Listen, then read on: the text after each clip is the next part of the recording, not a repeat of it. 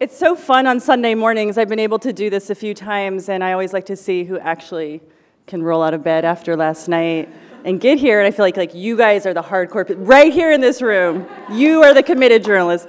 Um, so my name is Carrie Lozano. I have a long relationship with the investigative reporting program. I was a fellow there in 2008, and um, I'm also a graduate of the school. I'm a documentary filmmaker by trade, and I've, I've been telling people that I'm a recently both accidental and recovering television executive. Um, so I'm this morning uh, when Janice asked me to do this, I was really excited because actually the work and the journalism that we're going to talk about today really reflects a lot of what I've been able to do, which is to combine both journalism and art in various ways. And in that way, you have a lot of flexibility in your storytelling, but you can also reach other kinds of people. Um, so what we're going to do this morning, just to set it up a tiny bit, is a little different from a panel.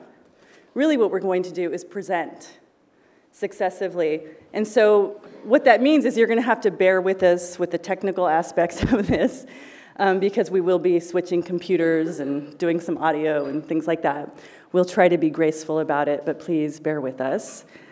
Um, so I'm just going to go ahead and start and get us going because you are in for really such a treat right now.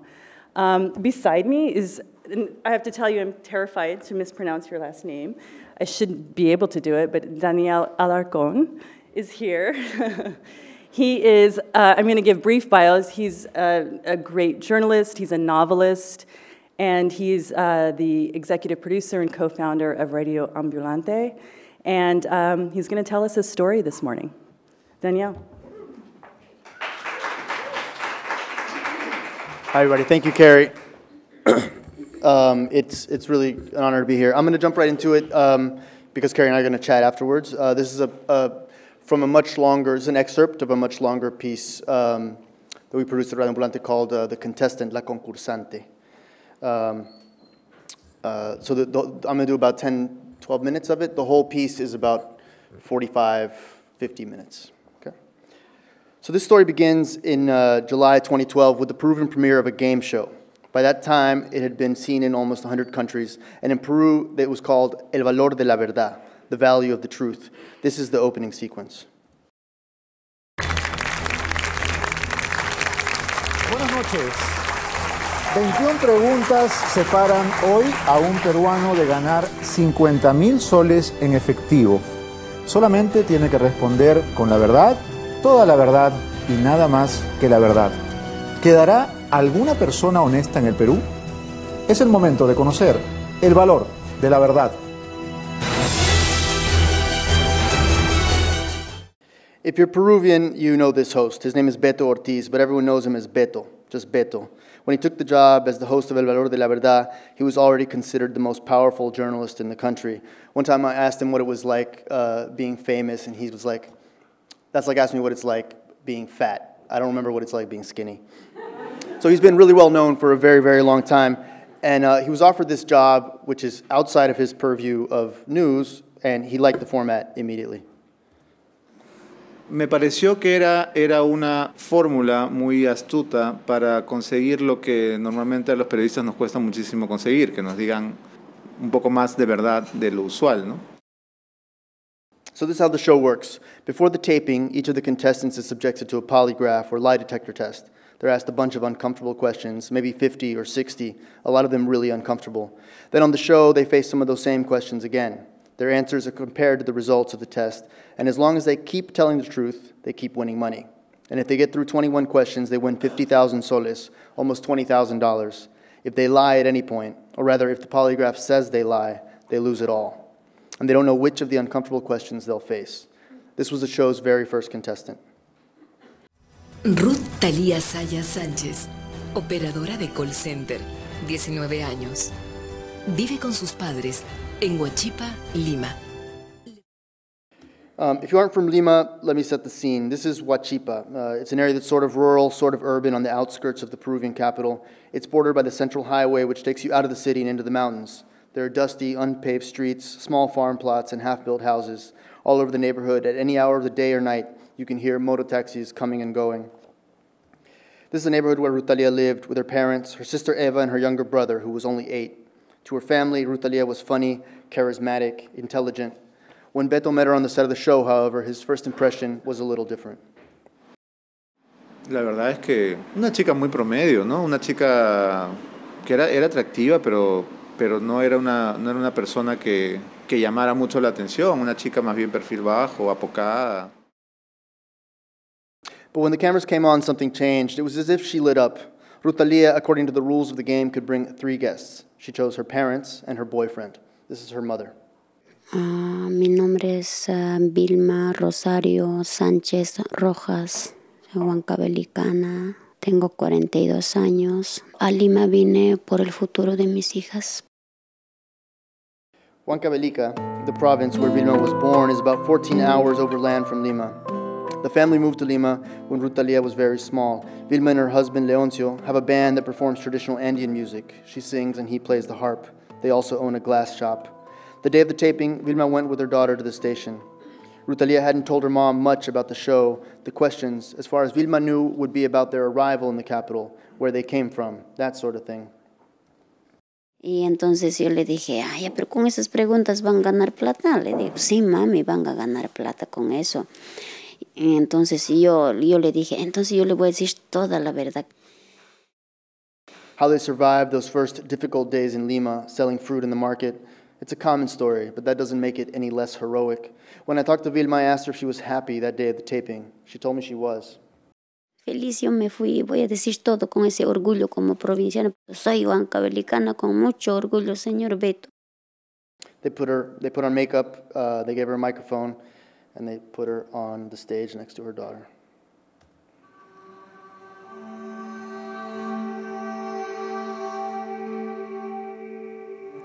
Sí, desde el momento que mi hija, como se llama, que iba a ir al programa, yo estaba destrozado. This is Leoncio Sayas, Rutalia's father. He also went to the taping that afternoon, but he wasn't quite as excited as his wife. Yo dije a ella también no vayas, dije no vayas. Sea, mi me dijo que tú, que cualquier cosa no quieres apoyar. De repente yo decía, o le, si lo privo esto, de repente le, va, le voy a truncar en su camino, eso. Ya bueno, pues dije, está bien.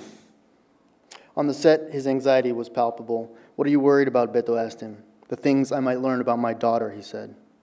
The third guest that afternoon was a young man named Brian. This is how Beto remembers him. Era casi un niño, ¿no? Era un, chiqui- un chiquillo muy joven, este, un mototaxista, el típico chico de barrio que se recursea, que sobrevive, que tiene su enamoradita, que se va a jugar el fin de semana, o sea, Brian was a serious kid, not very talkative, but handsome. You could tell immediately that he was uncomfortable. Era un muchacho callado y no te miraba a la cara, medio hablaba agachado y No sé por qué, discúlpenme, joven, yo le odiaba a ese chico. At the time of the taping, Brian was renting a room just a few minutes' walk from Rutalia's house. He'd never had it easy. He'd stuttered, his mother told me, ever since an old boyfriend of hers had pushed him down the stairs when the boy was only eight. They lived, like most everyone in Huachipa, hand to mouth. This is the first time we see Brian on the show. Y finalmente, El enamorado. Tú eres el enamorado. Brian Romero Leiva. Brian Romero, un aplauso para Brian. Muchas gracias por haber aceptado venir y acompañar a Ruth Talía en este desafío que ella ha decidido tomar. ¿Cómo estás tú? Veo que tu, tu pierna derecha se mueve incesantemente, ajena a tu voluntad. Yo, ¿Nervioso? preocupado. Sí, preocupado. Se, se me ha sacado la vuelta, ¿no? Eso es todo lo que te preocupa. Lo demás no importa, ¿no? Ok. Bueno, relájense, recién estamos comenzando, no se olviden que esto es un juego, vamos a tomarlo con calma. Entonces... The first questions were simple, even funny. That's part of the structure of the show, of course. Beto asked Rutalia if she'd ever skipped class without permission, if she believed it was more important to be pretty or to be a good person, if she'd ever gone a long spell without showering. Laughing, Rutalia copped to these minor transgressions, and with each question, she won a little money, and everyone was happy. That afternoon of the taping, the guy backstage communicating with Beto over the headset was this guy. Yo soy Luis David Novoa Jiménez. que tengo que decir lo que hago, toda esa nota. At the time, David was working as a producer on El Valor de la Verdad. He'd done the preliminary interview with Rutalia and Huachipa and knew, perhaps better than anyone, what was in store for Brian and Rutalia's parents. Pero como yo no tomaba directamente la decisión, yo era un, un obrero ahí, ¿no? Yo no presiono el gatillo directamente, ¿no? Donde entra esta gente. Eso iba a ser una sorpresa y quizás un momento incómodo y una vergüenza para ellos. I asked him what his first impressions of Rutalia were. She was lying, he told me, and he knew it right away. She had secrets. It was obvious. The day of the taping, David's job was to make sure those secrets got out. Unpleasant, uncomfortable details. Cuando te ves al espejo, ¿qué ves? ¿Ves una chinita? ¿Ves una cholita? ¿Ves una mestiza? Bueno, me veo un poco, no, un poco oscurita, ¿no? Este, un poco- Oscurita. o sea, yo me, me digo siempre, no, soy un poco oscurita. Es la forma que digo que estoy, como decirlo, morena, ¿no? ¿Te piel canela. gustaría, ¿Te gustaría ser de piel más clara? Sí, me gustaría ser una ¿Te piel- gustaría ser blanca? Sí. Ok. There's a lot to unpack in this clip, a lot about race and class in Peru, lines that can seem immutable if you come from a place like Huachipa. This was just one of many uncomfortable moments in the first half of the show. In another, Beto asked Rutalia about her relationship with Brian. She made fun of him, and the audience laughed. ¿Te parece Brian un chico guapo? Bueno, sí. ¿Es Brian un chico inteligente? Más o menos. Immediately after this moment, with question number 12, Rutalia revealed she was only with Brian until someone better came along. Brian looked stunned. When I spoke to David Novoa, he compared Brian to a zombie. But this was hardly all. In a matter of minutes, Rutalia revealed that she was embarrassed by her parents' manners, that she had taken the morning after pill on three occasions, that she had sexual fantasies about women. With the 17th question, Rutalia admitted she didn't really work at a call center as her parents believed. The truth was that she danced at a nightclub. Brian was devastated. He begged her not to go on. But Rutalia ignored him. With the 18th question, she had the opportunity to win 15,000 soles, around $5,000. ¿Alguna vez has aceptado dinero a cambio de tener relaciones sexuales?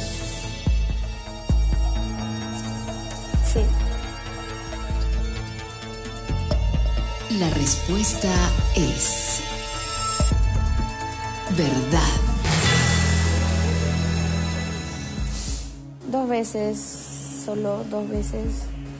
Y de ahí no ha vuelto a pasar ni volverá a pasar. Creo que fue por eh, cuestiones económicas, o sea, que estábamos en una situación económica muy, muy crítica. Beto asked Rutalia if she wanted to quit or stay on and try for the 50,000 soles. Rutalia thought a while, but before answering, she turned to her parents. She begged their forgiveness, and then she withdrew. Thank you.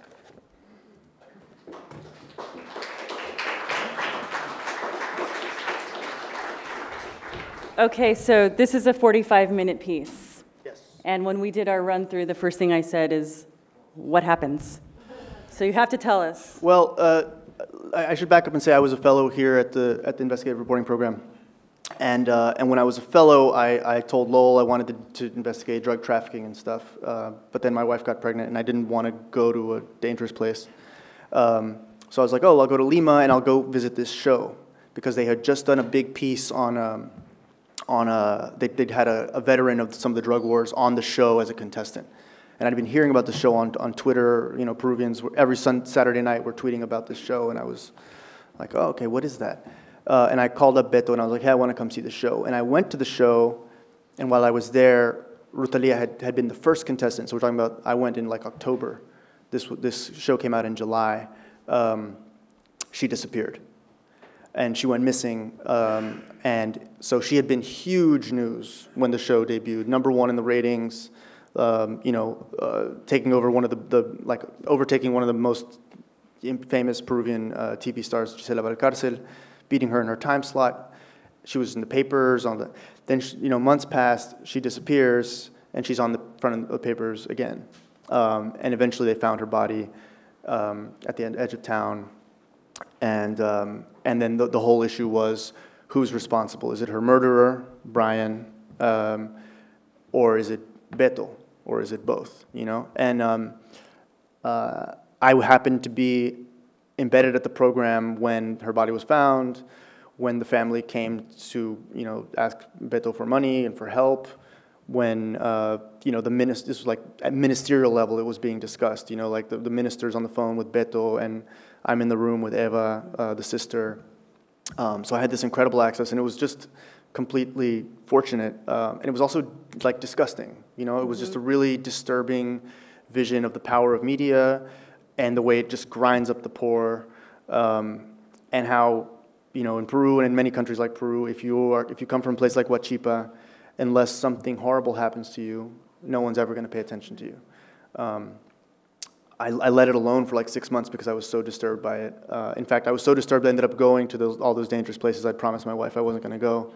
Um, and then six months later, I was talking to some friends in and I was like, "Hey, did anyone ever write a next like a long piece about what that case meant?" You know? And no, no one had. And so, um, so I went back. I found the family. They told me their story, and then I tried to do this kind of polyphonic thing of telling the story from beginning to end and, and sort of what it means. Um, and I think it was, it was it came out pretty well.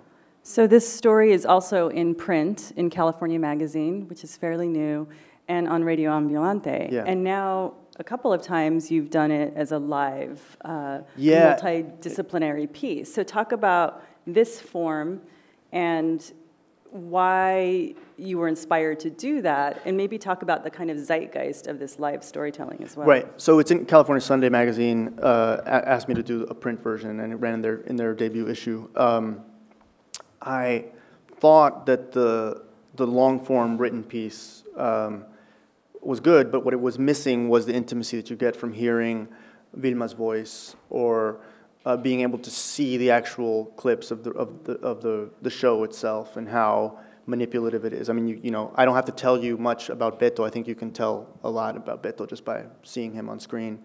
Um, and uh, and I, I, wanted somehow to fuse those two things and give English-speaking audiences uh, who don't listen to Radio Ambulante the opportunity to, to experience some of the power of, of hearing a woman like Vilma tell her story. In the second half of the piece, this is a very, very abridged version, obviously.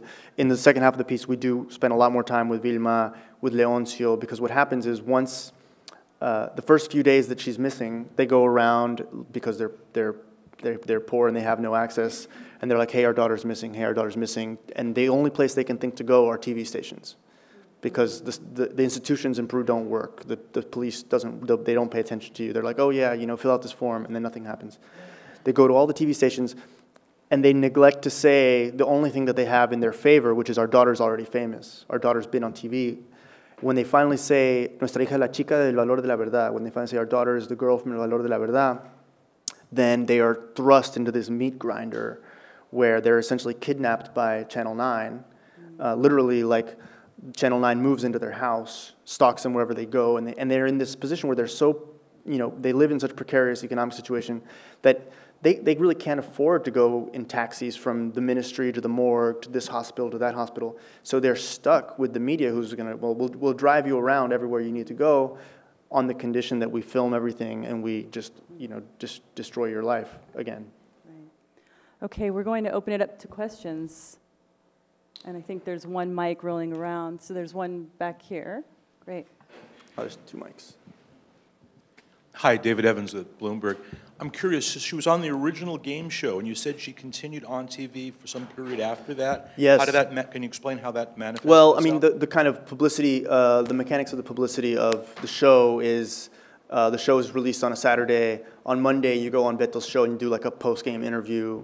Uh, but then she was on the cover of a bunch of newspapers, and then a bunch of follow-up because the revelations were such that, um, uh, you know, Brian became a character, uh, you know, the jilted, you know, uh, you know, lover uh, who didn't know, and um, you know, there was a lot. There's a lot of machismo in Peru, and they wanted to get his side of the story, and so there was news magazine pieces and that and this, and there was just a ton of follow up. And you, you mentioned that there was a series of a panel of questions, 50 or 60 questions, that they answered beforehand, but then you said there was also a lie detector test. I was a little confused. Yeah, if they knew what the answers were, they'd know automatically if she was lying from the, the answers before the show. Right. the purpose of the lie detector? I'm So, so, so, so, the, w- yeah, it's a little bit confusing. The, the, the show is this: you go, you're asked. They first they ask you all. They hook you up to the lie detector, right? Um, let me back up. First, a producer goes and does like a download interview with you, right? Then he writes a report. He and Beto make up a questionnaire, 60 questions, say. They bring you in, they, they hook you up a lie detector test, and they ask you all the questions, right? And then um, they record all the answers. And then when you're on the show, they, they, they know which questions you've lied and which questions you haven't, you've told the truth, right? So then they ask you the questions again. But you can see on the show she's not hooked up to a lie detector there. They've already done the lie detector test previously, right? Um, So they're relying on their interpretation of the lie detector, so there's no way of they may, the lie detector obviously is fallible, so they may even be accusing her of telling an untruth when it's simply a- a lie detector determination. Yeah, I think what, what David Novoa meant is, of course, lie detectors are complete nonsense, right? So uh, that's one of the ways that it's a very manipulative show. Um, what David Novoa meant that she was lying, I should have clarified this, lying to her family. You know, she had a lot of secrets, you know? Um, and he, he sort of knew, knew that. She, uh, you know, yeah, could have been lying to the lie detector test because we obviously, you know, it's not science. That's, that's, you know, whatever it is. Yeah, it's, it's a little bit confusing, and I think in the longer version it's a little clearer, so I apologize if it It's wasn't. It's worth saying that the show is, you know, it doesn't exist anymore, correct? In Peru, it was canceled after two seasons, yeah. But it wasn't canceled after this, this murder. Was this the only show where there was some bizarre, horrible? No, uh, in Colombia, a woman went totally kamikaze and admitted that she had hired uh, hitmen to kill her husband, um, and then was arrested right after the taping. you know. Uh, so no, the show is very So, controversial. yeah. The the producers down right down there in Burbank, he wouldn't uh, do an interview, but. But what, what's crazy is I went to lunch the day that uh, her body was found uh, with Beto. And Beto is we're at this fancy restaurant. We keep getting interrupted by these people saying, Beto, oh, we love your show. We're so happy. And, uh, and he showed me his Blackberry, and he had an email from the producer. And his English, Beto's English is decent, but it's not great. And he'd written, uh, our first contestant has died. Which is funny because it could be like our first, like from our first show, or it could be like the first of many contestants has died. Oh, Um, uh, and, and Howard Schultz, the, the producer of the American producer of the show, had written this very long email saying, oh, Beto, we can never know the people who come to us when we give them a platform in order to, to tell the truth, you know, this and that. Like a very sort of like pop psych uh, explanation of why it was, this was all morally okay and he shouldn't feel bad. So when is the show coming to America? Oh, it was already canceled. Howie Mandel was the, was the, it, it came and went like that, yeah. Uh, Jerry Springer, I think, was one of the hosts, uh, but it came and went. Here it was called uh, Moment, of Truth, yeah, yeah. Yeah. Megan, you have the Oh, yeah. mic? Hi, this is it's a really powerful piece. I was just wondering if you could talk a little bit about your process of, I mean, talking to people who have been so media saturated and then going in and talking to them again. Um, Mm-hmm. and obviously you have you have audio and, and text. So just what was your process of, you know, getting them uh, to talk to you one again after going through that media thing, and then just also reporting on different platforms with such a sensitive topic. Yeah, I mean, I, I wanted to contact them before I went to Peru, but I, I felt like it wasn't, that it was best just to show up and have them be able to explain who I am and what I was doing, you know? I, I uh, have a big network, I'm from Peru, I'm, I'm Peruvian, um, so I have a, a fairly extensive network of, of friends and journalists down there. And, um, and there's a, a, magazine called Caretas, and I know people at Caretas, and they're sort of, their, their writer who had covered the story was a, a kid named Eduardo Garcia Peña, who, who uh, knew where the family lived.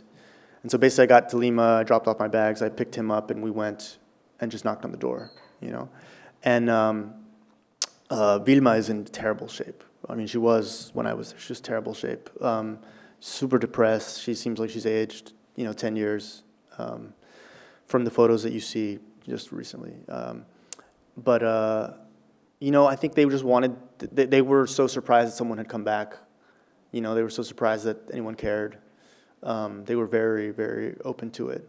Um, it was harder to talk to Brian's family. Brian's mother didn't want to go on tape. Um, and then finally to her, I said, look, you know, everyone that I've interviewed says your son is a monster. And if you don't talk to me, then no one, we're not going to hear anyone saying, you know, he liked to play soccer or he was nice to his sister or he loved his bunny or whatever, you know, and I don't, I, I don't know. I don't, I, I can't meet him. He's in jail. Um, so like someone has to, to talk to me, you know, and she eventually agreed, but she wouldn't, she wouldn't go on tape. So in the piece, I do try to tell a story. And Beto, you know, Beto, I think, um, you know, he was both easy and hard to talk to. Easy because, um, you know, when I told him that I wanted to come down to talk to him, he tweeted out, you know, uh, essentially, you know, with like six exclamation points, like Daniela Alarcon's profiling me for the New Yorker, motherfuckers, like to his like two million followers or whatever. Um, a tweet that I think he subsequently deleted and he has blocked me. Um, so, uh, you know, I think I was very fair with Beto, and I think if, you, if, if Peruvians know exactly how controversial Beto is and all of his sordid past, uh, if they read the piece or if they hear the whole Radio Ambulante piece, they'll, you know, you will, I think, agree with me that I could have destroyed him. And I think I was very, very fair, stuck to the, the, the case at hand. Um, but, you know, he, he, he doesn't see it that way. Um, uh, he fired David Novoa for talking to me. Um, and, uh, you know, I, I, mean, the, the hardest part and the most sensitive part is like, okay, these people have gone through so much, like, why put them through it again? Um, but they were, I think, very, very willing and eager to sort of get, get it out. I think we have time for one more. Maybe this individual has a question. uh, one more question, I'm sorry. Annabelle? Thank you. Which are the most important stories for Radio Ambulante? I mean, which kind of stories do you really choose to cover and why? Well, we, we Radio Ambulante, we, we, we're currently able to produce like a story a month, a new story a month, and then maybe little cortos in between, and, and we're re releasing from archives. And we um, are ramping up production to two stories a month in the second half of the year. So we want to have a mix of stories that are uh, both like hard-hitting investigative pieces. We want to tackle uh, you know important news stories in Latin America that haven't had the space um, to to be addressed. Certainly not in audio. You know, we, we do feel that there's obviously we work in sound. We feel that there's something inherently powerful about hearing the voices of the people who live the stories. So that that to us is important. But we also don't want to be uh, you know, there's there's many disturbing stories coming out of Latin America right now. Um, and we could do a, a, a, persistently grim podcast every month of, you know, human rights abuses, uh, you know, police abuse, arbitrary justice, drug war, you know, immigration catastrophes, tragedies, and this and that. We do try to keep it mixed. So if we just we did this this year, in our new season, we've done um, a piece on on the Ayotzinapa uh, that was indirectly tied with the Ayotzinapa based on, on uh, out of Mexico. We did a piece on, uh, on uh, trans issues in Mexico with a protagonist telling us what it's like to change your gender in Mexico City. We partnered with the New York Times on that. Um, and we, uh, we did a piece with Radiolab about um, Cuban self-infected HIV patients, um, both in, in, Spanish and English with Radiolab. Uh, we have a piece coming out.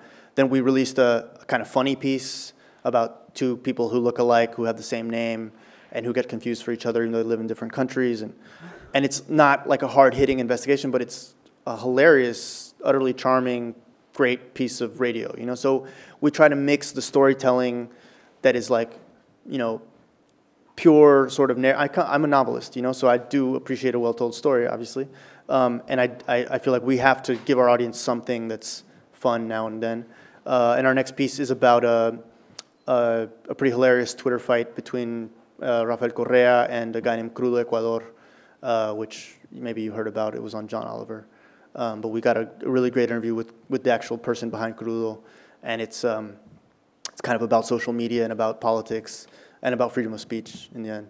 So we, we mix it up. Yeah. Thank you so much for your Thank questions. you. Thank you.